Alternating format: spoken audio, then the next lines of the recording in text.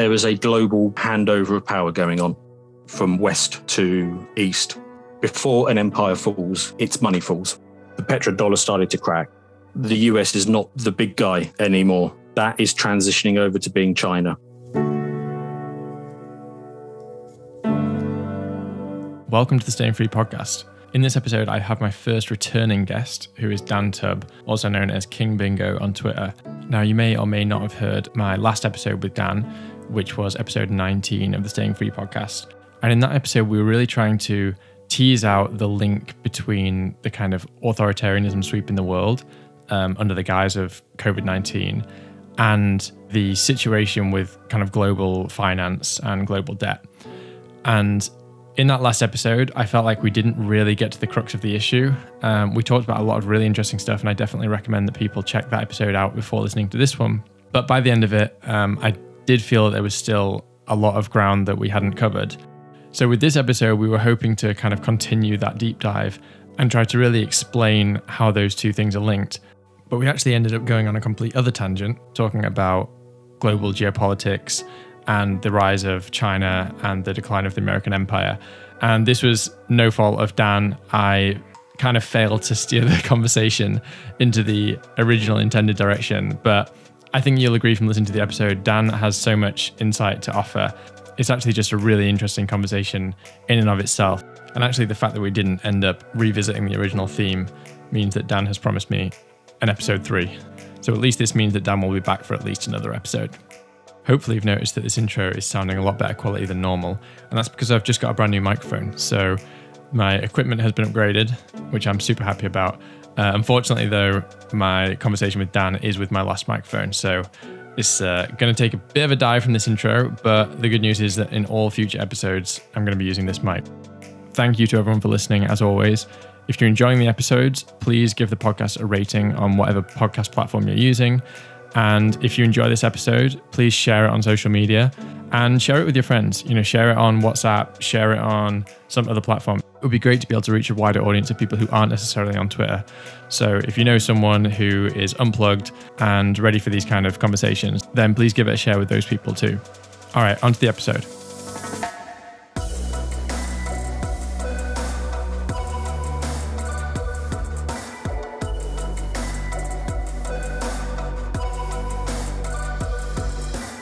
I guess my perception of our last conversation was just that we were we were trying to tackle a lot of territory, and it was all really relevant. Actually, that last episode was uh, the most popular one so far. Like, got oh, really? a lot okay. a lot of listeners. So yeah, obviously people people want to hear it. Um, so I guess um, since you've just listened, if you can just kind of like give us a, a bit of a tail end of that conversation, and then we'll we'll dive back into it and cover some new territory. So the question you asked me, I, th- I think you asked me three times. That's why I'm particularly conscious of it. What you asked me about three times is how exactly does the um, the collapse of the money supply link with the COVID authoritarianism.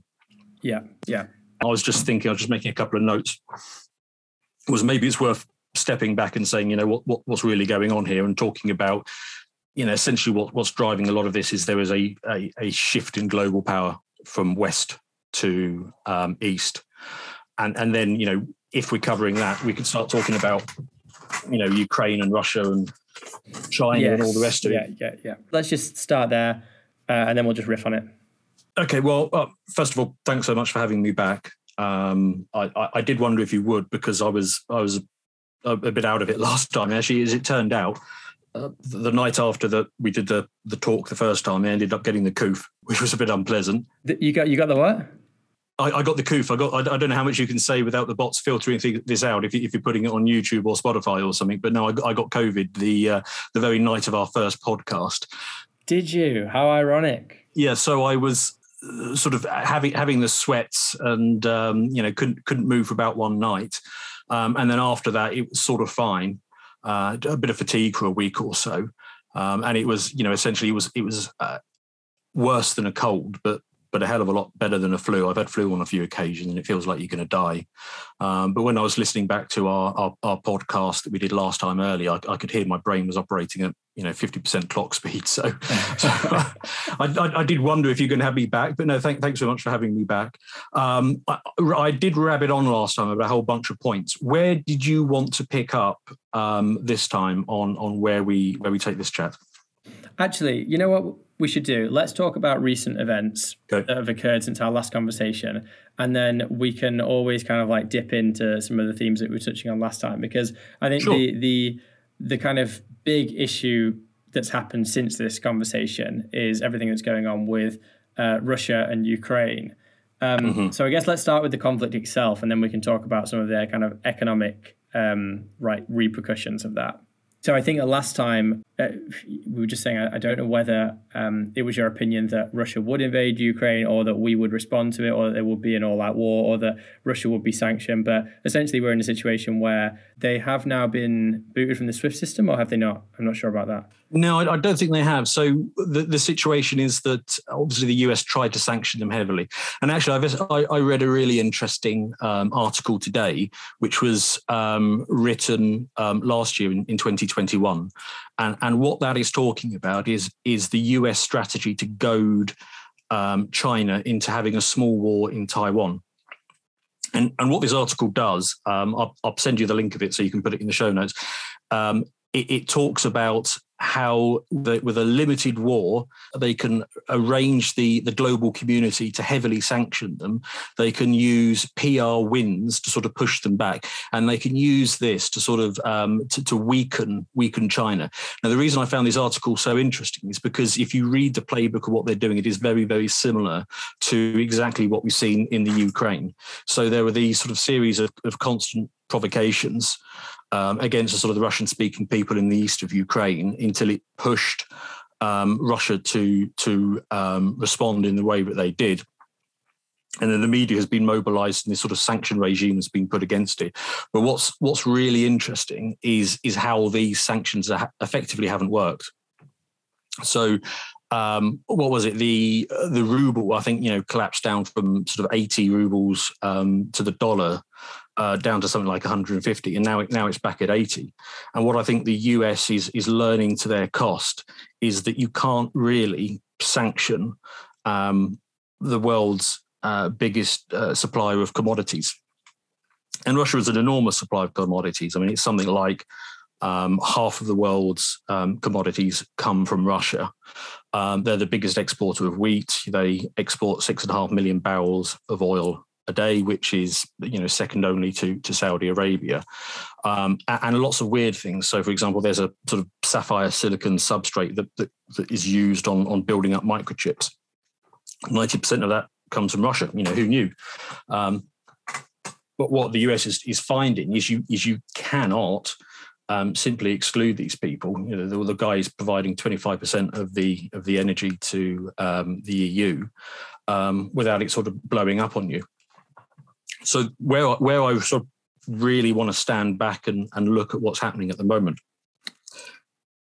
What's driving a lot of this, including what's driving the paranoia that was expressed by governments over the whole pandemic period, is that there is a global handover of power going on. And, and these happen fairly regularly. So, you know, the, the, the Dutch were the preeminent power, and that gave way to the British Empire. The British Empire gave way um, to the um, global American Empire. And that was a very soft transition because culturally the two were so similar um, that a lot of people would be sort of inclined to to treat the two as sort of one continuous whole. But now what we're seeing is a transition from um, a um, an American global empire, which is you know the America and, and Europe and, and its allies around the world, going over to a to an Asian one. And I, I think a lot of you know what we've seen in the recent events is an attempt to an attempt by the US to use its power while it still has it. Yeah, there is this term that they that people in Washington like to use all of the time, um, which is the rules-based global order. If you ever listen to American politicians or, or policymakers talk, they, they talk about this all the time. Yeah, and they've got a big problem that there are two big holdouts from the rules-based global order, and that's Russia and China you know those guys prefer to play by their own rules. Um, you know they they they do cooperate with the World Economic Forum and that lot, but they use it for their own purposes. They're not in that big clubby um, globalist managerial sort of set. They want to sort of plough their own furrow. They, you, most uh, Western politicians are, are, frankly interchangeable. You know, you, you you can have a um, you know, the guy who used to be the um, the chair of the Bank of England is, is could well be Canada's next prime minister. You know, you, that sort of crossover effect you see it in, in Europe all the time. You a, a ex Belgium you know, prime minister can go on to, to head the European Union, something like that. So this this handover of um, power is is essentially inevitable because the East is rising. They've got the population, their, their manufacturing capability is increasing. And I think what the, the US hoped to do um, was it hoped to, to trigger you know two conflicts. It wanted to trigger one around the Ukraine, and it probably wanted to trigger one around Taiwan. And it wanted to sell the narrative that this was um, aggression coming from, from Russia and China. Now, please don't get me wrong. I'm absolutely not saying that, that Russia and China are the good guys in all of this. Um, but when you when you opt out of the mainstream media narrative and you start looking at these things perhaps a little bit more objectively, you you open up the sources that you are approaching these from. Um, you do see that there is a lot of you know provocation and pushing coming from the US here. And I think what they have discovered to their cost is that it that it hasn't worked. Take Germany, for example. Those guys, uh, they, they had a they have a rather bizarre energy policy. So they obviously got rid of their coal power plants. Then they decided that they were going to go all in on Russian gas. On that basis, they then shut down their nuclear power plants. The last of those went offline recently. Then this thing popped up, and they've ended up closing down the, the gas pipeline as well. They have no other option at this point. You know, I believe their strategic reserves will last them until late summer, well, that's great. You know, it's it's warm in summer. What are you going to do when when winter comes around?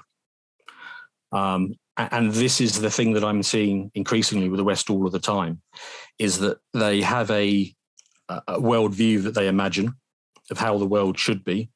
That they've got these sort of idealic, idealistic notions, and increasingly they are butting up against reality and geopolitics.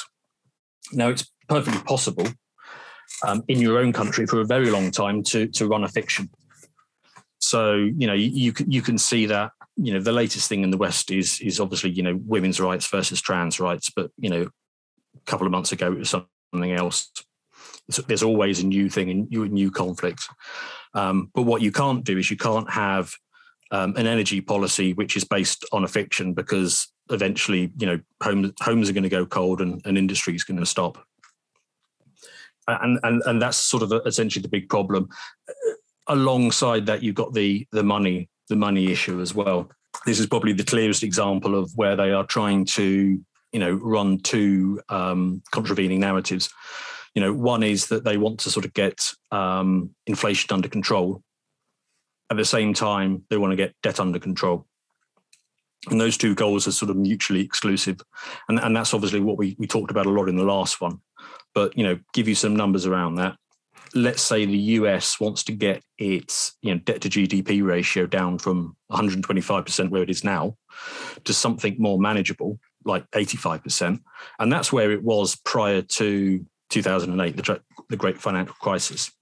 Well, if it wants to make that transition, it's going to have to run inflation incredibly hot, and by that I mean a CPI um, of somewhere you know between 15 and 20 percent for about five years to get that that debt level down.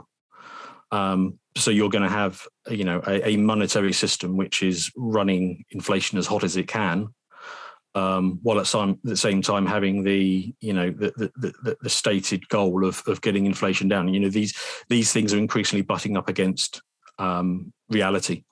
Okay, just let me let me stop stop you a second there because um, this is something we didn't go into in the previous conversation, and I think this is probably a opportune moment to talk about it, which is if inflation is running at 15 to 20%, the natural inclination for people is going to be okay, well, I need to go and buy as much tinned food, dried food, anything, any kind of non perishables as possible now. I need to, you know, I need to buy my fuel now, etc. Because if it's going to cost you literally 20% more a year later, and this is probably going to get even worse than that, then it makes sense that you buy all these things now and you spend your depreciating money to buy these assets. So to go back to, you know, trying to really understand why things like CBDCs serve this kind of um, monetary paradigm or, or, serve the interests of these people who are trying to, to keep um, a lid on this thing.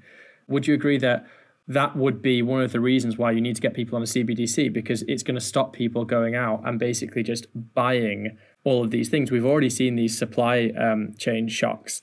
And if you can imagine everybody going out and buying as much fuel and putting it into jerry cans and buying buying food, etc., you know, buying bottled water, whatever it might be, because they know that it's going to be more expensive. CBDCs would allow governments to essentially say, sorry, you can only buy this much tin food now. You can only buy, you know, this much pasta.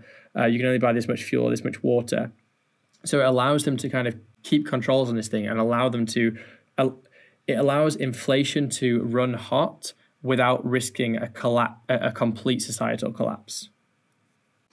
Yeah, I, I, think that is a bit of a less less of a consideration. Um, so the things that you talked about about the sort of the buying and hoarding, um, you know, my wife is from Turkey, uh, and when she was growing up, there was that sort of very high sort of Turkish inflation that you got in the in, in the sort of 80s and 90s, and and so her instinct is, you know, her and her mother they they just bulk buy everything. You know, they they they they insist on having sort of a spare room full of full of stuff it's it's not particularly necessary these days, but you know they, they grew up in that culture where you did exactly what you described. Is as soon as you got your money, you went out and, and bought the things that you needed because you know they were going to go up next week.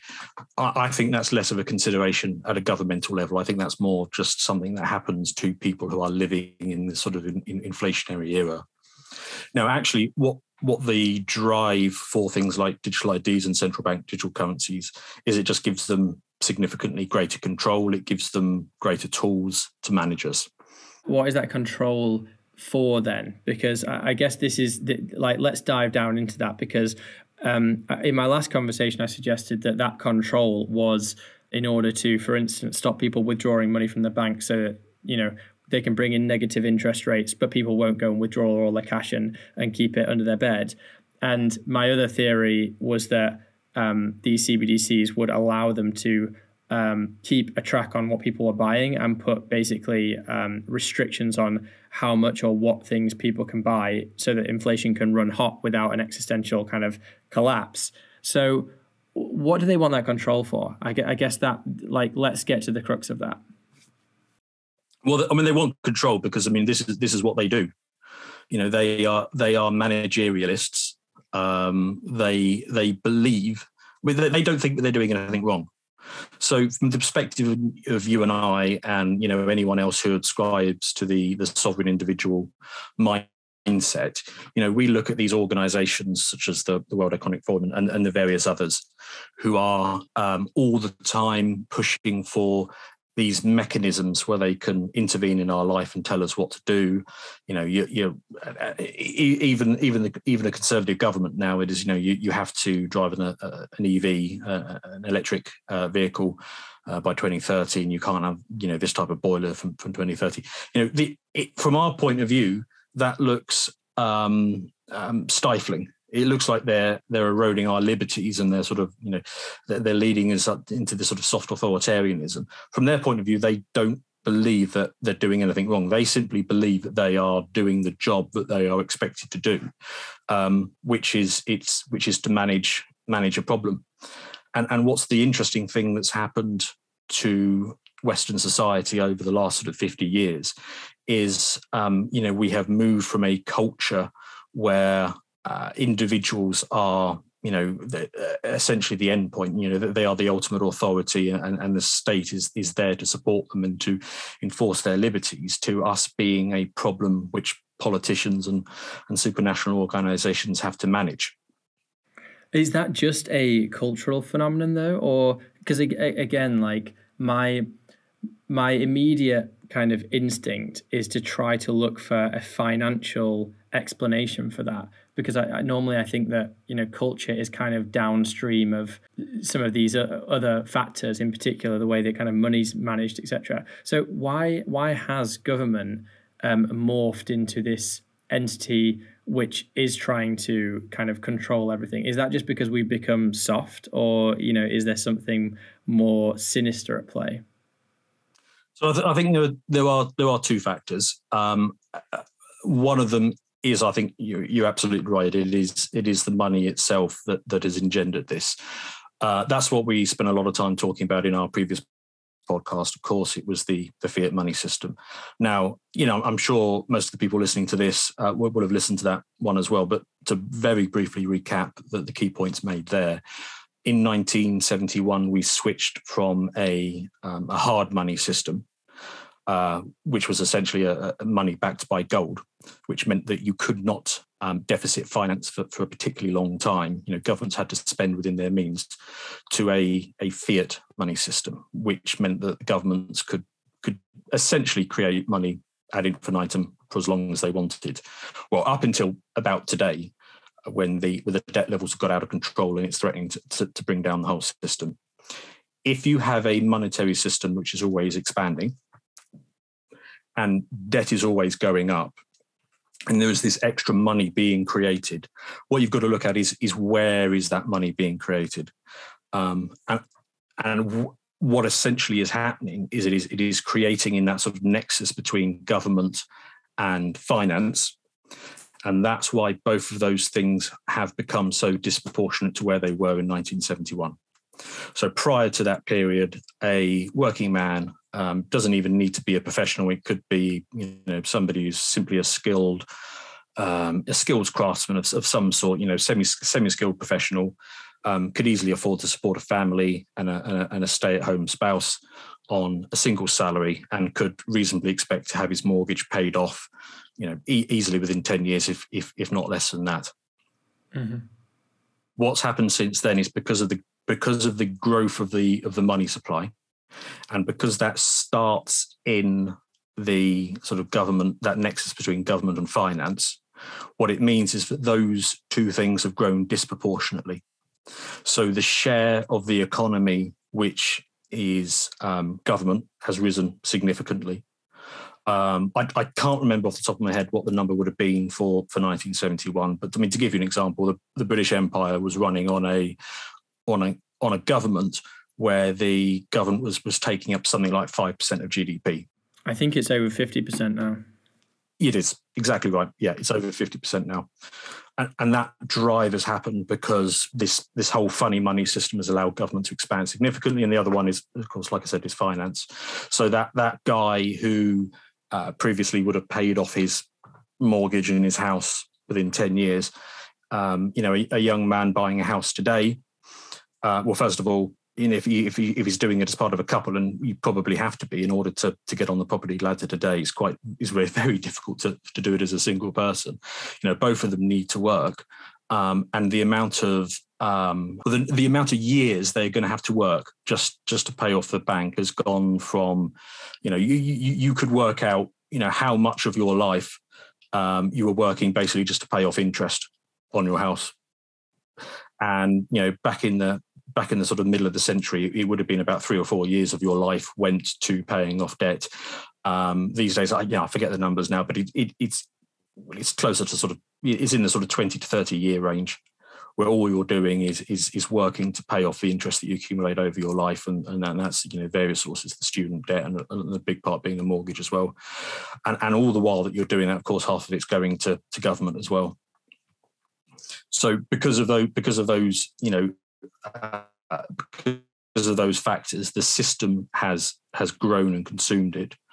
Um, and the second thing is, is probably because um, people are are comfortable and happy. You know, yeah, again, people like us, people who ascribe to the, the, the sovereign individual mindset, we like to take um, charge over, over our own destiny, our own future. Um, but a lot of people, as we saw over over the COVID period, are all too happy to to basically hand away um, any any rights, um, any sense of self responsibility to to an authority figure.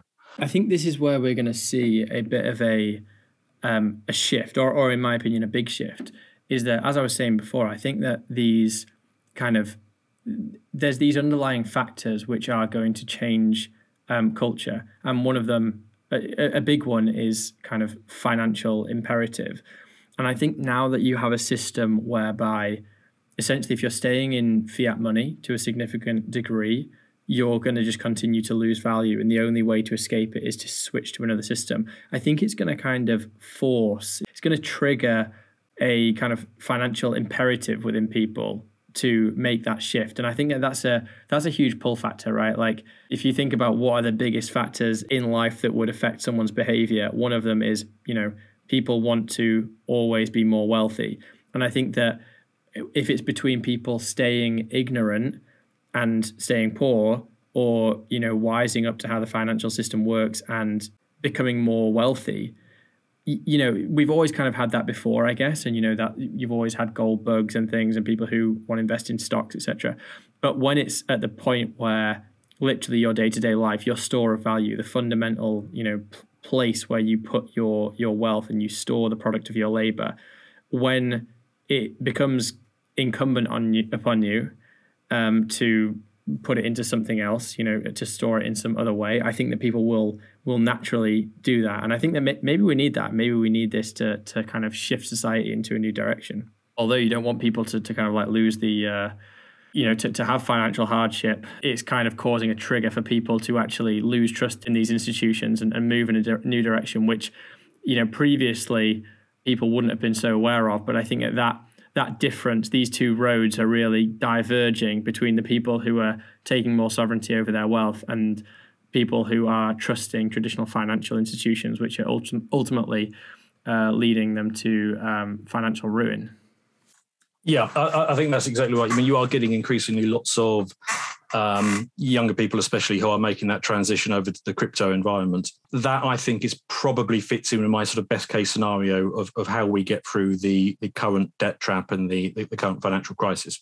And that is to say that the current system limps along, albeit through periods of high inflation and other disruption for, for maybe, I don't know, another debt cycle, which is eight to 12 years. And during that time, people have made the transition over to, I suspect, Bitcoin although it could be other hard monies, it, it, you know, potentially it could be gold, although I suspect it will be Bitcoin.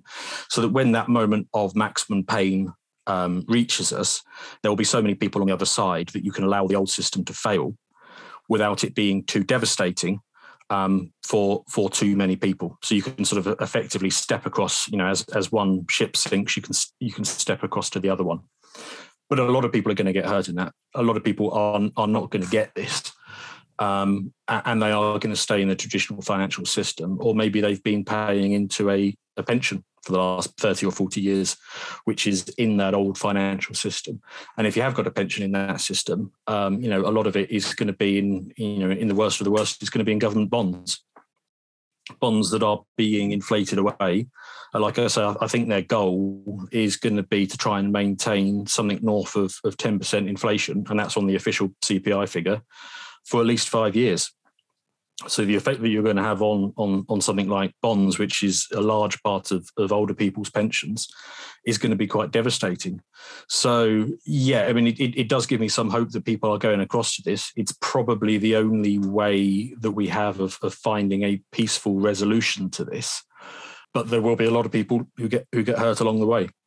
Yeah, on that point, actually, I've been wondering about this. Like, I've been trying to kind of figure out based upon the situation we find find ourselves in with um, the economy, like the global economy, not just on a, on a national level.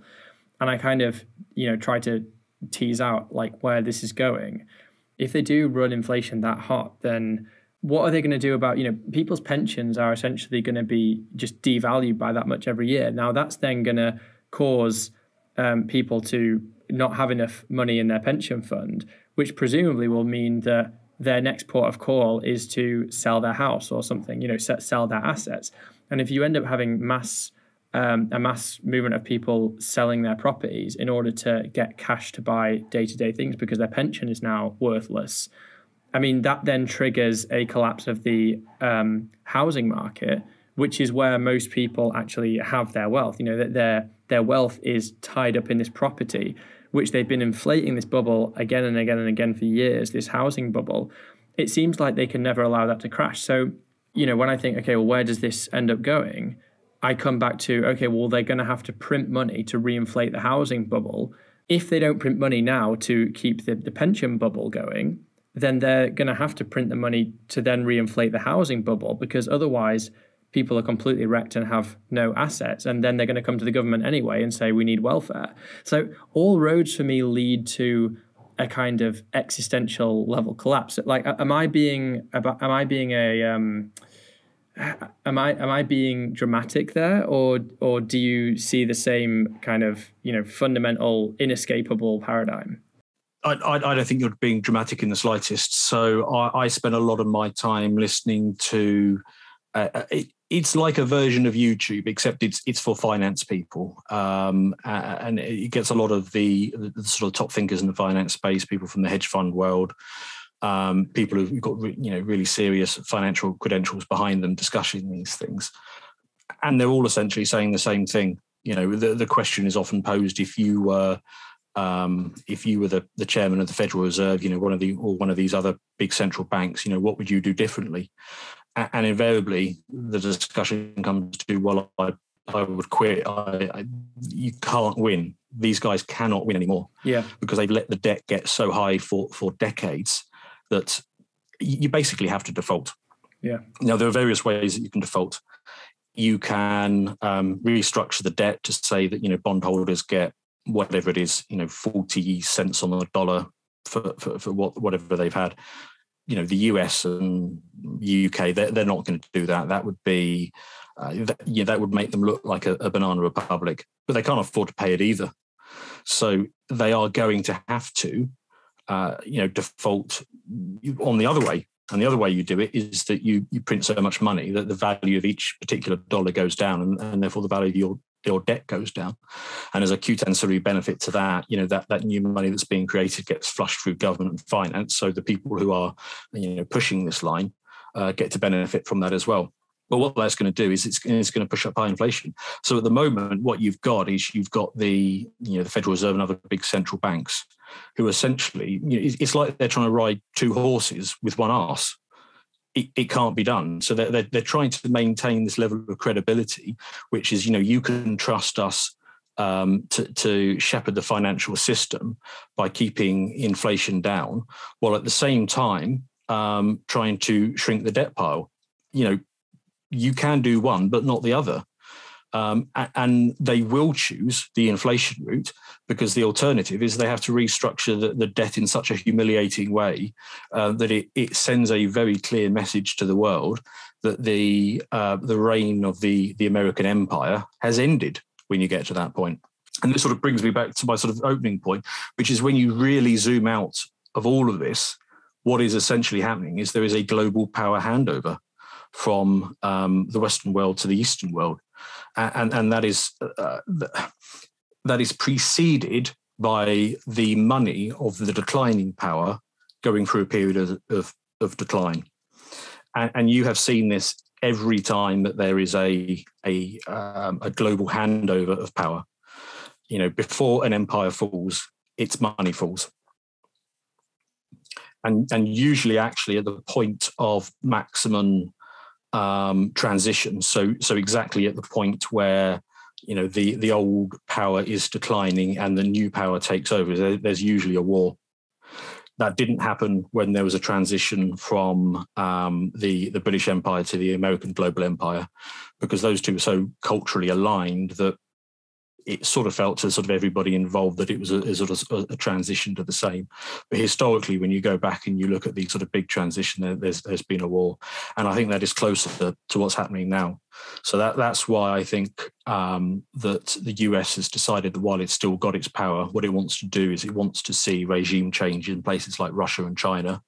It wants to get them into that uh, rules-based global order, because then you know, even if they do become the dominant power, if they are working on a on a Western mindset, a Western paradigm, that's an easier pill to swallow.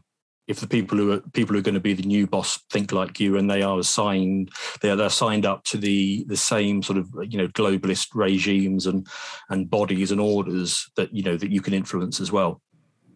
So, do you think that the policymakers in the USA they recognize that the days of the US empire are numbered and that right now they are because it almost seems like they're, they're kind of playing um, two games at the same time in a sense because you've got the the saber rattling with Russia, which is not really even saber rattling anymore. You actually have a, a, hot war and essentially a proxy war through uh, Ukraine between um, you know the United States and and the NATO allies versus Russia.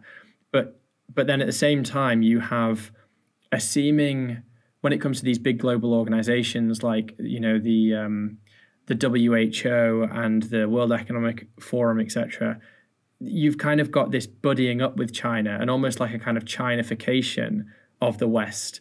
Um, you know things like um, social credit scores and you know, even just the fact that you're not really allowed to criticize China, the fact that there's still been absolutely no admission um, from Western media that China faked all these people falling down and you know collapsing on the street from the pandemic. You've you've kind of got this um, culture this kind of global culture of China can do no wrong, we can never criticize them. But then, but then when it comes to Russia, uh, it's quite the opposite. It's almost like Russia is, you know, inherently evil, and and you know we must fight them in every corner type thing. Do, do you see what I mean? It's almost like there's a different strategy for Russia and for China uh, happening at the same time, and you know, I, I'm I can't quite explain that.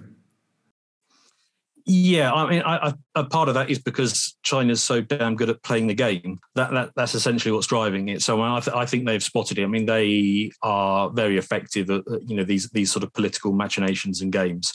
So you know, let, let's rewind this back to you know the Cold War period. Um, the, the, the Kissinger, the Henry Kissinger strategy was to prize off um, uh, China um, from from Russia because because Russia was the uh, Russia was the, the big threat at the time. And so they did that by pallying up with China, which at the time was, you know, it's a large country, but it was very minor in economic terms. The USSR was was significantly more uh, the, the, powerful entity um, of the two and while they were going through that process of, of splitting China off, you know, they realised that there were sort of kickbacks to be made from it. There was there was money to be money to be made along the way, um, and and that sort of pallying up with with certain elements in the U.S. establishment sort of continued. And, and what's essentially happened is the people who are um, the the dominant decision makers in the U.S. have not readjusted their thinking because they have remained close to the, the sort of the money and the kickbacks from, from the Chinese, while not recognizing that they have become the, the main threat and that, that, that, China is now a minor power. Now, that is not to say that there aren't. Well, Russia, Russia is a minor power now. Well, compared to China. You know, yeah, yeah, the, yeah. The, so you said you said that China is a minor power, but did you mean Russia the, so China yeah. was originally the minor power in, in, in, when they started this strategy, and it's it's, it's transitioned the other way. Um, now, now, that is not to say that there are individuals um, in the US establishment who who don't think that who don't recognise this. So, I mean, I would point to uh, you know a book that recently came out. It's called Strategy of Denial, and it was written by a former deputy assistant of uh, the Secretary of Defence. And it talks about a strategy to, um, uh, to, to, to denude Chinese power um, before they overtake the West but this sort of muddled thinking of you know how are we're going to take down our geopolitical rivals and how are we going to you know provoke them into these sort of you know what was supposed to be small wars has been backfiring on them. So it's, it's, backfired quite significantly with the with the Russian thing, because you know what what they thought they what was going to happen was that um, you know they uh, that Russia would be um, isolated yeah. by the international community and that they would have to comply and they would have re- weakened Russia in the process. That could then potentially lead to regime change in Russia and they could get their, their sort of globalist puppet in place who would then follow the, the rules based global order that I talked about. What has actually happened is that Russia have just decided that they will um, transition to rather than a Western strategy to an Eastern strategy. So I mentioned that, that Russia is exporting about six and a half million barrels of oil a day. I think that will just go now to the east. So two and a half, so two and a half million barrels of that was already going to China anyway. The other four million barrels will probably then get split off, you know, more to China, who, who will happily take the extra energy. Um, you know, some of it will go to to India and Pakistan and, and Turkey and, and other places in the region. You know, those resources um, that were flowing out of there will again they will just get redirected to the west. Now that's very dangerous. Sorry, to, to the east. Now that's very dangerous for the west because for a long time the thinking was that each of these Eastern um, powers were, were were were deficit in something that was important. So take um, Russia, for example, uh, very high levels of commodities, but an older population and doesn't have a strong manufacturing base. You look at China, um, again, the demographics are are bad, largely as a result of the one child policy, so that their, their population is too old. Um, very low commodities, but an excellent manufacturing base. Then you've got the whole kind of uh, the monsoon region going around that. Uh, uh, you know, Southeast Asia, um, you know, in India, Pakistan, that that whole sort of region around there. Um, they have something of a growing manufacturing capacity, um, somewhat limited resources, but but superb demographics. They've got lots of young people. All the time that you kept those separate and you played them off against each other, that that was good for for Western geopolitical geopolitical interests. What the US has done in its heavy-handed approach with Russia is basically pushed those guys into a new block and you're starting to see it happening. So um, you are you are now getting you know Russian and Chinese militaries going on joint exercises. Um, you know they're coming out and saying um, you know their senior politicians coming out and saying that they are signing pacts of you know enhanced friendship or, or, or stuff like that. And if you combine um, that eastern region into a block, you now have resources, manufacturing, uh, and a young demographic now, China would essentially be the leader of that, um, where they would essentially move up the, the value chain of the manufacturing. You know, they, they would go to late stage production rather than component manufacture where they are now. They would push out a lot of the grunt work to the the area with a with a strong demographic, so that sort of monsoon region, the, the Southeast Asia and, and the India, and so you would see a lot more of the low level manufacturing being pushed out to there because they've got the manpower for it, um, and then they and then Russia would come in and, and supply the commodity side of it, and, and you know the the food and the oil and the and the, and the stuff that went into the electronics. Now, once once you've got that pack, that's very strong. Yeah, and you know, the, the thing is, like, none of this kind of had to be. I, I know that people, a lot of people, they think that China's ascent, you know, China's kind of great success of becoming this kind of economic superpower um, was some kind of natural thing. But without the West kind of permitting that through organizations like the World Trade Organization and things like that, would you agree that China wouldn't be where they are? Like China would would not have achieved this kind of supremacy if it hadn't have been for the fact that we had kind of allowed China to participate in the capitalist um, geopolitical order, but then also whilst maintaining their kind of communist um, regime internally, where they kind of were able to you know ha- have their own policies in, in place to to essentially get an advantage where everyone else was playing like you said that there was this kind of um, rules based order for the rest of the world but China just basically did what they want and you know they, they didn't care about things like patents and they didn't care about uh, you know things like maintaining honest um, convertibility for currency etc they kind of centrally planned everything deliberately for the outcome of I guess kind of siphoning um, economic power from the West through the way that they ran their economy. Do, do you see what I'm saying here?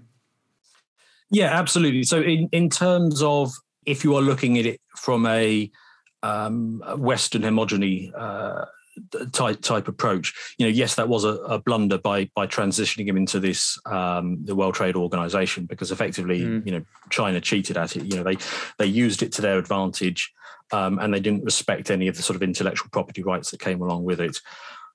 However, you know, I've got to say that it is probably a net good for everyone if you take um, billions of people, you know, the, whatever it is, the, the two billion odd people that you've got in China, the you know one and a half billion people you've got in India, and you elevate them um, to a point where they can contribute meaningfully to um, innovation. Um, right. The world would be a much richer place with an additional several billion minds um, working to provide you know solutions and, and contributing uh, effectively to the economy. But isn't it a risk though that we've we've kind of given this communist regime essentially a a pass? We've kind of most of the world now thinks, or, or many people might think, oh, well, you know, co- communism's fine. Communism can ele- elevate people from poverty because look at what China's done, rather than looking at it and saying, well, China did well because they were invited into the capitalist world order. Um, but actually, if they were left to their own avi- uh, devices, yes, of course, nobody wants you know groups of people and populations, etc., to remain in poverty. But the the downside of what, what we've done by yes, we've we've brought a lot of people out of poverty by inviting them into the kind of capitalist global order. But at the same time, we've falsely um, given the perception that Chinese communism has been the a success story where where actually it actually would not have been were it not for the participation of the West. Yeah, so I mean, in that respect, but but then that sort of takes us back to what I was talking about earlier about how the West feels that it has a limited time yes, left to use its clout to sort of bring the Chinese into the Western way of thinking. So what you've essentially described is is a is a microcosm of what the approach out of um, Washington has been. That it, they, they they want to try and make them, you know, think along our ways and, and play by our rules. Yeah, and and and the uh, well, essentially, they, they failed at it. You know, they, they, they tried to make them like us, and, and, and everything that they have done has, has failed. Um, and what you're going to increasingly see is that the world is going to start to care less um, about the, the, sort of the Western norms and, and the Western moralities.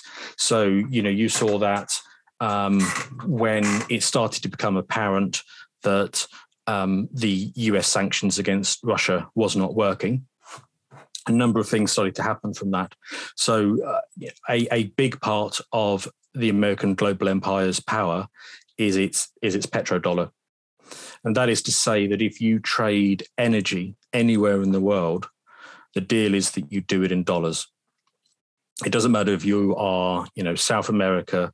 You know, say you're, you're Venezuela selling oil to, to South Africa. You know, you have to do that that trade in dollars, and what it means is that um, people are always having to acquire dollars and spend dollars and earn dollars. Um, and then when they've got all these dollar reserves, what do they do with them? They go and buy US denominated debt. Now, that has been a system which is enormously powerful for the US because if people are continuously from all over the world uh, buying US denominated debt, and they don't pay off this money as we've established. They just they just let the debt piles pile up. That essentially means the US has been has been getting free money from all over the world for several decades now. What does that mean buying US US denominated debt? Does that mean that essentially they're buying up things like when the, when the banks lend out money and they have uh, essentially a customer who has to pay that pay back that money that they kind of combine all of these different you know mortgage agreements etc into some kind of financial product and then say hey you buy this office for a fixed price and then they and then we you know the money that comes in for all of that debt which is being paid off incrementally goes to the new debt owner i've never quite understand what that means um, but that's my best guess yeah, so I mean, what, what you're talking about there is, is private sector debt, you know, something through the financial system, but but normally it's not even that. So so let's go back to our example we talked about. So the situation where you've got um, Venezuela selling its oil to South Africa, because the basically the agreement is that everybody has to sell energy denominated in oil. That means that these countries then have to well, they have to accumulate dollars. So they need to uh, produce stuff of value they then need to um, sell it to the US in order to get those dollars so that they can then do these energy trades around the world. So everybody ends up with a demand for dollars and they end up with a surplus of dollars. What do you do with all these dollars that you've got floated around? Well, you need to find a dollar denominated way of storing them. And what people typically do, or what countries typically do, is they then go and buy dollar denominated debt. So China did this for a long time. It was earning a huge amount of dollars by uh, producing useful, well, I say useful stuff, you know, plastic tat or, or whatever it was that they produced, selling it to the US, getting all those dollars. And then for a long, long time, they were the biggest purchaser of um, treasury bills. So we got all these dollars, we're going to buy that debt off you. Now, if you're the US, that essentially means what's happening You is the world is sending you productive resources or finished products or, or whatever it is that you want. The world is sending you these things. And in return, you're giving them pieces of paper, you're giving them debt, debt that you have no intention of paying off. You're simply going to accumulate it year after year. So that has given the US, um, I, th- I think a French finance minister called it an exorbitant privilege. So when you're talking about debt, you just mean like. So the- I mean, when you get up into these sort of you know billions of levels, you, you, you don't just leave your money floating around in a bank. You need something to put your money in, um, and, and the preferred method for storing dollars is is normally um, uh, treasury notes. So so this is this is debt issued by the U.S. government, um, short term treasury bills, which is to say you know you, you can buy for whatever it is. I, I think the way their system works is something like you know for 90 95 dollars you can buy a hundred dollar bond that will mature in you know a, a, few years time, and that's the way that you save your money if you have a, a high amount of dollars. So that's why I talk about the American global empire because even though it may look like you know the US does not go around the world conquering lots of places like former empires have, you know the British Empire would go off and it would it would color bits of the bits of the world map pink. The US doesn't need to do that because with this petrodollar system, it is able to make everybody send it tribute effectively. So that petrodollar system has proven to be incredibly powerful for them it has allowed them to spend more than they had a right to because everybody is buying their debt and therefore giving them money. That has enabled them to run a very large military. And with that very large military, they've been able to do things like make sure that people stay on the petrodollar. So if you look at a list of people who have made a break from the petrodollar system, there was a strong overlap between that list and people who have died horribly in the streets. So, you know, uh, Saddam Hussein is one of them. He decided to come come off the uh, the petrodollar, and very quickly after that, you started seeing um, war propaganda put out in the West, saying that you know this man must be dealt with. They they manufactured the the reason to go after him.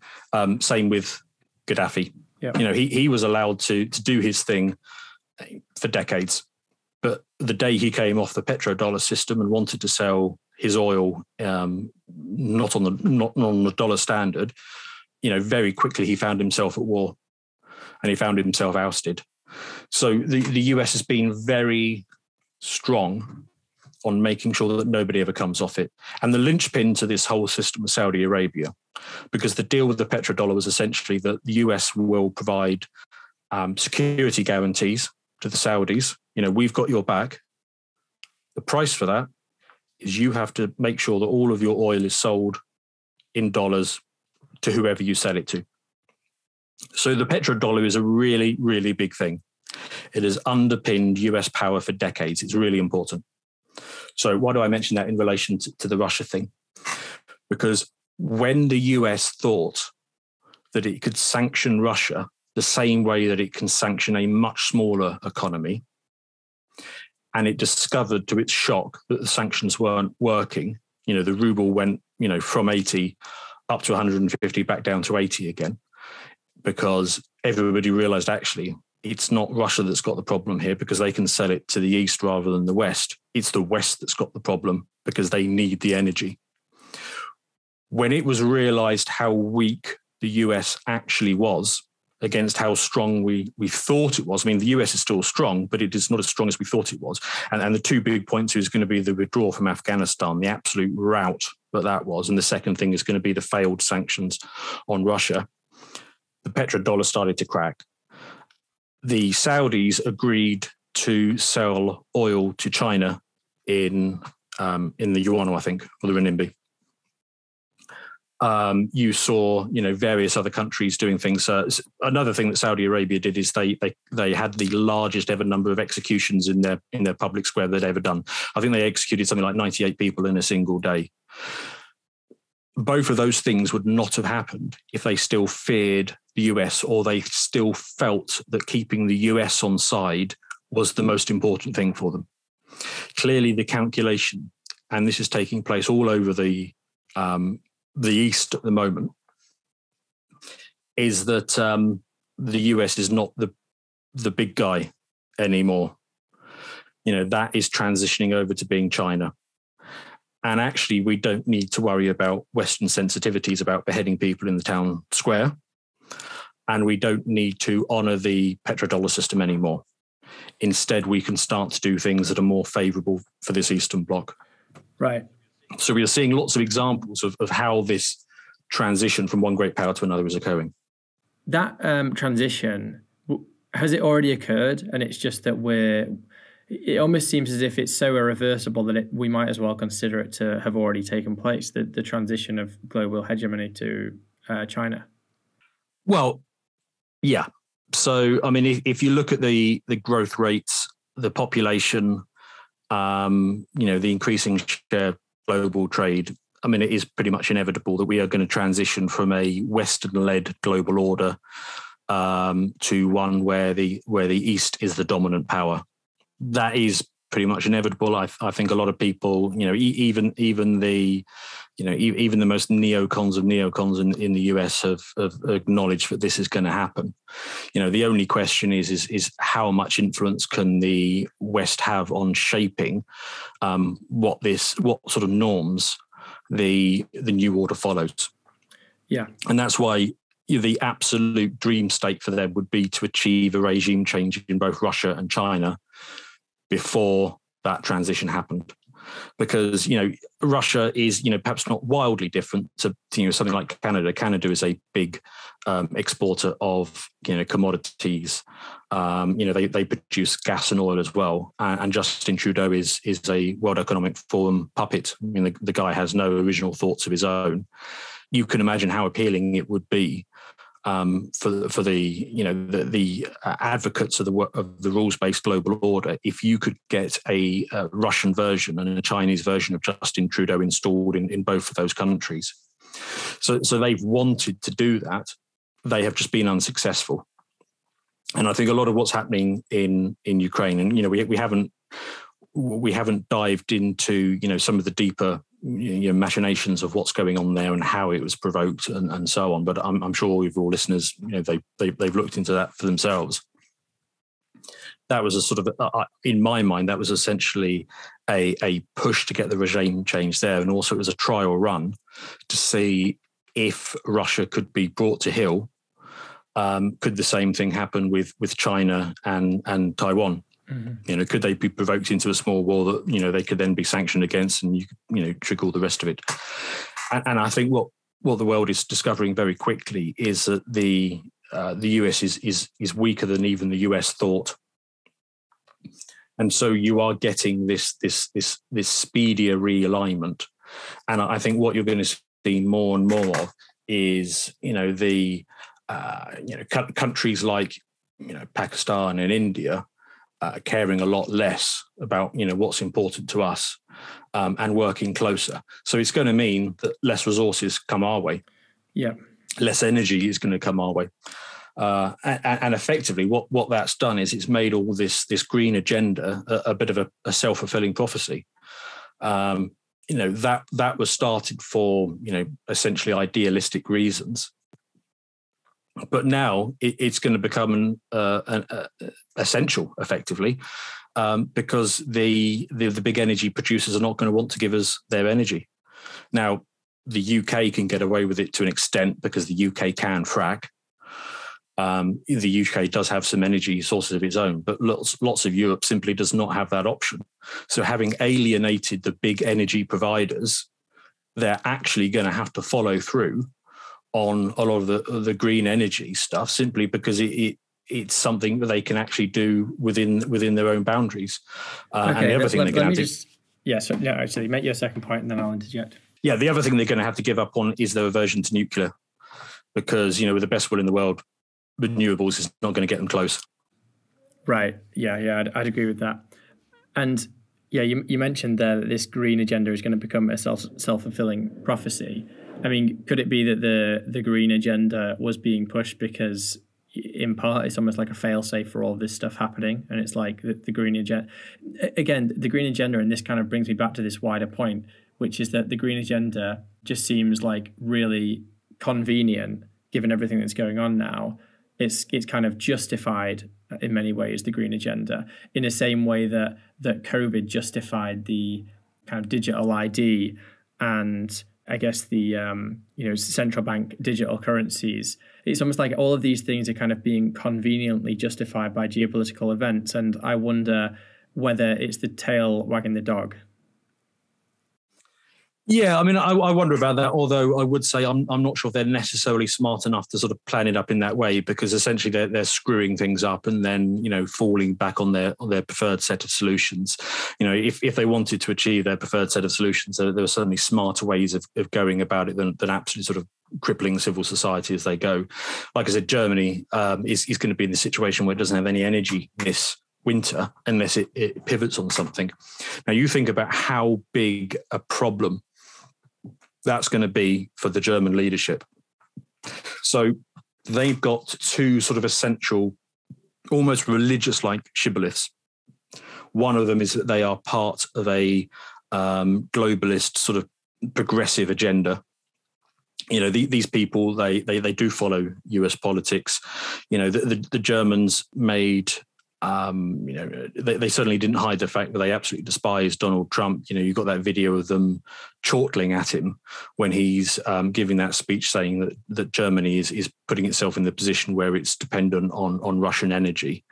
Um, and, and, you see this all over Europe. I mean, you know, Obama yeah. got that, that Nobel Peace Prize within you know a couple of months of him coming into office. So European globalist progressives which basically includes all of them, including you know the, the, uh, most of the right wing parties. Certainly, it includes the the Conservative Party in the UK. The adherence to the sort of the um, the US progressive agenda is a really big part of their psyche. Another really big part of their psyche, especially in Germany's case, because remember it's the Green Party who recently won the election there and have been pushing this, is an aversion to nuclear an aversion to you know traditional forms of energy. Um, but they can't have both.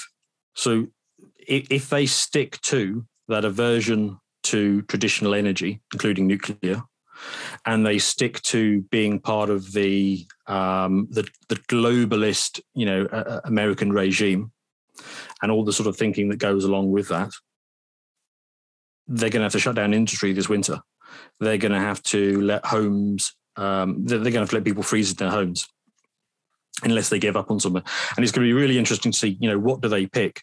Do they do they, do, they do a, a volte face on nuclear? Do they break with the US and, and open up those pipelines again, or do they let people freeze? And you know, I, I don't know which one it's going to be, but you know, whichever way it goes, it's, it's going to be you know extremely unpleasant for people while they go through this transition. So long, long term, the only thing that they've left open for themselves is sort of massive expansion of renewables which you know maybe if that was on on a 20 or 30 year plan yeah maybe they could get to it but you know they need to do it by november. Right right right. Dan i'm going to start running this up. We i still feel like there's so much that we ha- have yet to to cover and i still feel like this pivotal question which we've been trying to kind of get to the root of since our first conversation is unanswered. But this is not a bad thing because I feel like these conversations have been really good. You know, you have so much knowledge on a variety of areas. It's I think it's better to just kind of let these conversations flow as they do. And if we don't answer the kind of um, core question, then that's fine. Like we'll we'll attack it next time because I think there's just so much value to be had from all of these kind of surrounding topics anyway. So maybe think of it like peeling an onion one layer yes. at a time. Yeah, yeah, yeah. That's exactly what it is. So it's been really great, and you know, you've been so generous with your time and with your knowledge as always. I'm going to suggest that we do a round three at some point. Be delighted to. Yeah, because it's, um, you know, I know that people uh, appreciated the last episode. I'm sure they'll appreciate this one. So I'll leave it to you to just kind of um, let people know where to find you and kind of round things off. Any last words that you have. Uh, but yeah, you know, th- thanks again, and um, we should definitely do another one of these. Yeah, um, I'd, I'd, love to. Yeah, it, it's a great conversation. You know, we are we are peeling the onion down to the core here. Um, you know, a lot of bad decisions have been made in the West for a long time, and I think essentially where we're getting to is that the West is going to have to uh, have an attitude readjustment. Is going to have to come to terms with the fact that it is it, it can no longer throw its weight around. It can no longer, you know, imagine the future that it wants and then force that into action. Uh, a lot of power is going to be taken out of his hands. Now, I take no particular joy from this um, because actually I, I, do think the West is is the best. Mm. But you know, our our, our time as um, sort of global leaders is, is, is, effectively ending. Where can people find me? Um, at the moment, I it's, it's just my little Twitter account, and I pop up on the occasional podcast from time to time. Brilliant. All right. Until next time. Cheers, Dan. Thanks very much.